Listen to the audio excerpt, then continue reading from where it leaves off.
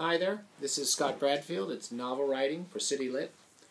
And this week I thought we would try to talk about time as things are observed in the story or a novel. And I picked one scene carrying on from really the, our last lecture about uh, point of view and seeing things as they happen. And looking at how the eye is there and the senses are there for our point of view characters in order to help measure time. We, we see things happening in time through the senses. This, this helps a good writer avoid telling us all that information that we've been talking about that will drown your stories and which will kill your, your whole narrative if you just keep pouring in information. So I want to look and talk about that for this week and next week as well and, and finish off with Moore. Again, he's just the sort of writer that you can go to and find all the basic techniques operating almost all of the time. And some writers it's clear of these techniques, some writers it's not so clear. And Moore is crystal clear. Look at page 86. And this is when Bem has been picked up by the quote major, who he thinks is part of the, the, the security forces. And he comes to a realization in a scene of about two pages, which is all coming to us through our point of view, all through Bem. And it doesn't come through him thinking or the author telling us what's going on. It all comes through sentence by sentence in what Bem sees and what happens around him. It's very Hitchcock, very Hitchcockian. As I mentioned, Moore wrote well for Hitchcock, and, and Hitchcock admired Moore's work, and you can see why. Page 86, and this is as they come to the security check. Their speed was now barely 10 kilometers an hour. Ahead, the colonel's truck came to a full stop, about 30 yards from the last vehicle in the queue. The Volvo also stopped. The major got out and went ahead to confer. The station wagon, the third vehicle in their convoy, parked behind them. Its driver, the gray-haired man in the security policeman's raincoat, got out and came up to them. This is page 86, by the way. And again, we're just seeing things happen as Bem sees them. Vehicle check, he asked the Volvo. More than that, I think, the driver said. At that point, the major turned and walked back to them. He seemed agitated. He went up to the driver of the station wagon and whispered something. The driver at once took off a security policeman's raincoat and rolled it up. Under the raincoat, he was wearing a red cardigan darned at the elbows. As he returned to his vehicle, he glanced in at the back seat of the Volvo furtively, as though curious to see what the ecclesiastical prisoner looked like. Their eyes met, and the man moved on, hurried on. Again, Bem sees this. We're not having a writer tell us why this person is suddenly nervous about wearing this security uh, officer's outfit. We just see him do things. We see him take the coat off and roll it up. The queue of vehicles began to move up. The major, seeing this, got back into the Volvo. Well, the driver said. It's all right. Go ahead, the major said. He took off his straw hat and swiped his sleeve along the inside sweatband. He then turned and held out his hand. Give me your idea, Eminent. ID, Eminence. He hesitated, then reached in his jacket and took out his identity card. The major looked at it, at the photograph, his name, Stephen Bem, the details of his height, weight, hair color, date, and place of birth. So your card's nothing special, he said, and you have an ordinary name very common. God gave me a common name to remind me that I am nothing special, he said. The major handed back the card. Are they checking ID cards then? the driver asked.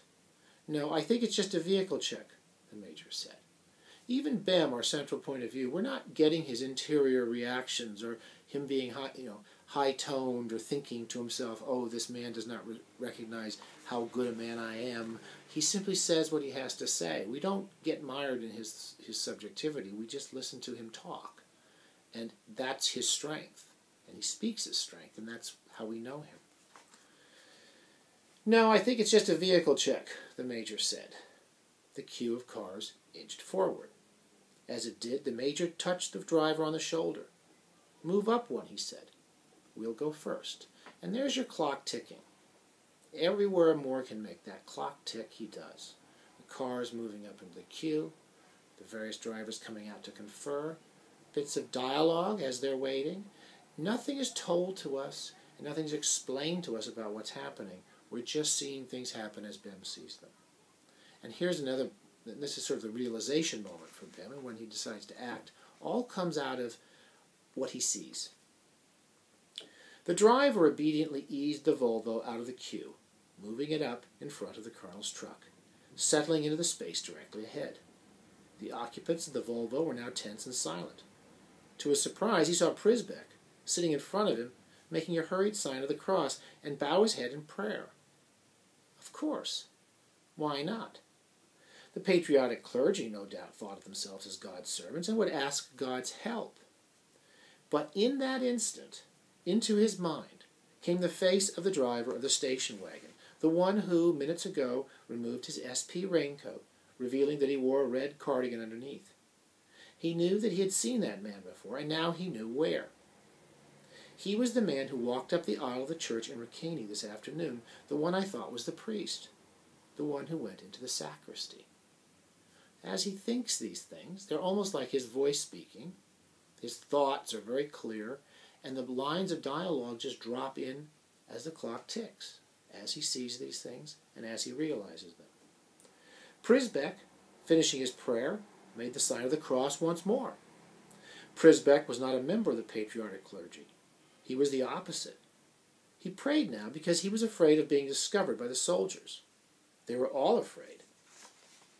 They were impostors. The security general, the security major, all of them. And now Bem, by simply watching things, and as we watch things with him, comes to a realization, and things are learned by him as we learn them. And that's that is perfect time narrative writing. It's the sort of thing again that Hitchcock would admire and Moore, that Moore admires in good film writers. And the good film writers and good narrative writers all pay attention to. Any way you can get that clock to tick watch things happen, you can see them, hear them, smell them, taste them as they occur. Then, having your thoughts laid out in time to the beat of these exterior events is the basic, and it's not a hard thing to do, the basic elements of, right, of good narrative writing. Killing that telling voice, killing the expository voice that will say to you, which would say in a, a bad writer, when they reach the, the checkpoint, Bem realized that all these people were the same people he'd seen somewhere else, and it must have been them who had planned this all along. So maybe they were imposters, he realized. And you just have this really boring writer just tell us everything that happened rather than watch it happen. Okay, so that's for this week. Next week, we're going to finish up with the Moore, and uh, I want to talk a little bit more about what some people call backstory and what we know about Bem and how we learn about Bem as, as, as in terms of his past and of the man who lived before the book starts. And we'll see how little we know of it and how much we learn about him in the course of the book. Okay, we'll see you all next week, and uh, take care. Bye.